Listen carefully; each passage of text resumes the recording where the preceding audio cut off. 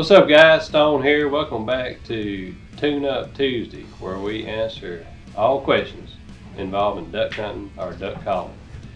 Today, we have a question from Vitals Incorporated. Okay, here's my question How do I know when and when not to call ducks? Well, good question, because I've seen a lot of squandered opportunities in my day when it comes to that. So, number one rule call at the tail feathers. Always heard Phil say that. Call at their butts. Don't ever call when a duck is flying towards you or angling towards you. You want to call at their tail feathers. Now, when ducks commit to a decoy spread, they'll start to circle. Now, say you're hunting in a pit blind and you look up and ducks are flying in a. That's what we call flight birds. Odds are you're not going to call those ducks to your decoy spread. Odds are those ducks won't hear your call. They're so high. So if they're in a V, unless you just don't have anything else to do and you want to practice your duck calling, you can scream and holler at them all you want. You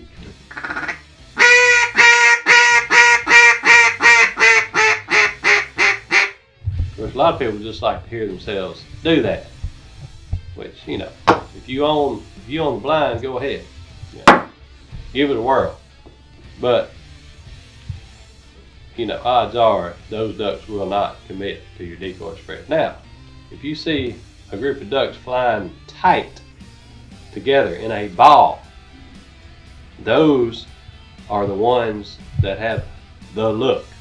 If they have the look, they're flying tight, they're in a ball, they're looking for a place to light. Those are the ones to target. If you see those, if you do things right, you have a good chance of getting them in your decoy spread. So, what you want to do is when you see those ducks, you want to let them know that you're there.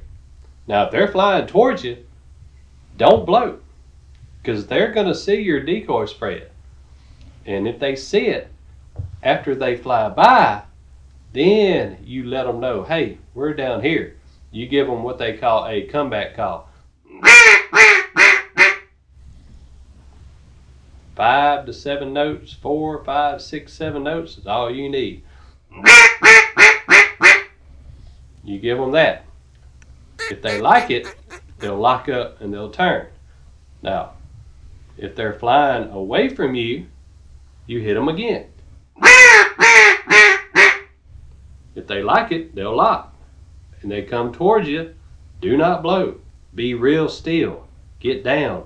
Do not put your face in the air and look at them. Be still. Head down. Once they go by, you turn around, you hit them again. If they like it, they'll lock. And repeat as many times as necessary. So, all being said, if you don't sound like a duck, you don't ever blow a duck call until you learn how to sound like a duck. It's real simple. Record yourself blowing a duck call and then listen to a recording of an actual duck. And if they don't sound similar, you need to practice. So in the meantime, if you don't sound like a duck on a mallard hen call, get you one of these whistles. You just hum into it. You just sit there and do that and be still. Keep your head down. You'll kill more ducks. So, always blow at their tail feathers. And if you don't sound like a duck, don't ever blow a duck call. Ever. You know, you, you guys, the duck hunt, you know what I'm talking about. There's always that one guy. That one guy, he's got to blow his duck call no matter what. He don't know when to blow it and he don't know how to blow it. So the best thing to do with them is you tell them to rack it. You rack that thing. Sit down, shut up. You just be there for moral moral support. And like Si, for troop morale. He keeps the troops laughing and giggling and carrying on and whatnot. So there's my tip. Hope that answered your questions. Keep them coming. Like and subscribe. And we'll see you next time.